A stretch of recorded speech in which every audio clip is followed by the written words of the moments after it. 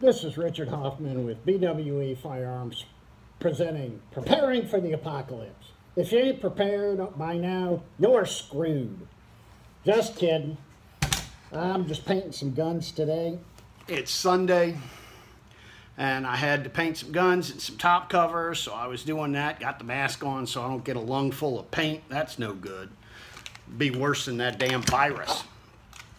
Just wanted to say, hey, do a stupid video. So here's a stupid video for you. Uh, want everybody to be safe out there. Hope you got everything you need by now. If you need toilet paper, well, you're shit out of luck because there ain't none left.